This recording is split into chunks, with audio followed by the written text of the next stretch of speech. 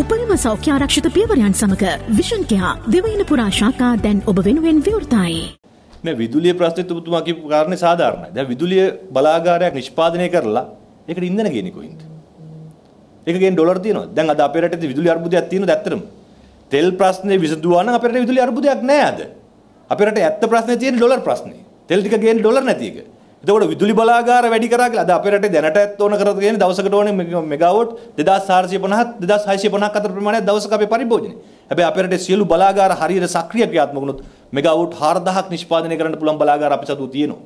හැබැයි අපිට තියෙන බරපතල ප්‍රශ්නේ වෙලා තියෙන්නේ ඉන්ධන නැති ප්‍රශ්න නිසා අපි බලාගාර අක්‍රිය වෙලා තියෙනවා. තවත් තාප බලාගාර නිර්මාණය කරලා තේරුමක් නැහැ. හැබැයි සුළං වලට සූර්ය බල ශක්තියට යනවා නම් ඒක ලබ ආයෝජනයක් අනාගතයේ. සල්ලි නැති වෙලාවේ ඒකට සල්ලි සපයා ගන්න එක මොකද්ද කියන එක ප්‍රශ්නයක් තියෙනවා. හැබැයි අර අර පැත්තට යනවා නම් සුළං වලටයි සූර්ය බල ශක්තියට යනවා නම් ඒක ආයෝජනයක් විදිහට අනාගතය ගැන ඉඳලා අපි ඒකට අහුම්කම් දෙන්න ඕනේ.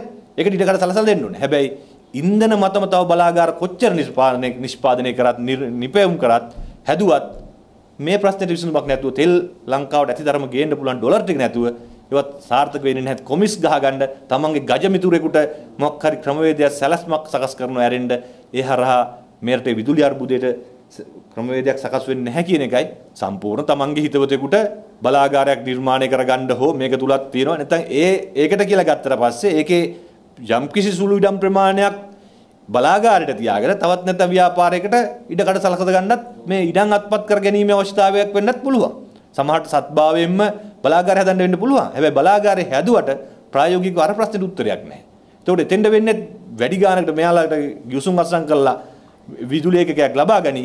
ඒකට හොරපාරෙන් තෙල් ටිකක් ලබා දෙයි තමන්ගේ මිතුරෙක් ගජ මිතුරෙක් නම් ඒකෙන් තවත් වෙන්නේ තවත් පෝලිං වල ඉන්න ජනතාවගේ පෝලිම වැඩි වෙනවා පීඩනය වැඩි වෙන එක තමයි ඒ හරහා වෙන්නේ රටේ විදුලි අර්බුදයට විසඳුමක් ලැබෙන්නේ නැහැ.